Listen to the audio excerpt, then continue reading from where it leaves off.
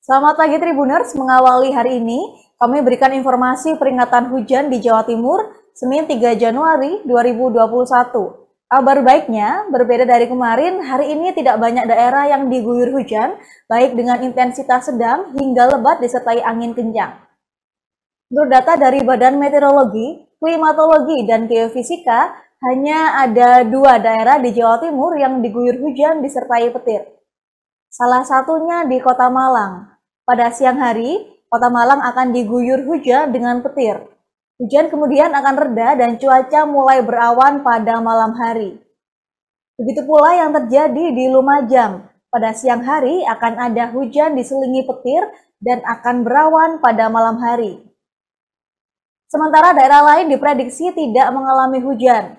Adapun wilayah yang akan berawan yakni Banyuwangi, Bojonegoro, Jember, Kabupaten Blitar, dan Kabupaten Malang.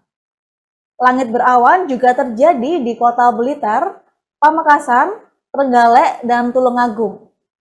Sementara di kota Surabaya, pagi ini akan cerah sampai siang nanti, disusul kemudian cerah berawan pada malam dan dini hari.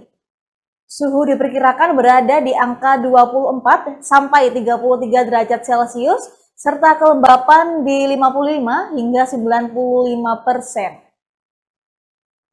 Sekian informasi peringatan dini hujan di Jawa Timur hari ini Senin 3 Januari 2022. Terima kasih dan selamat beraktivitas.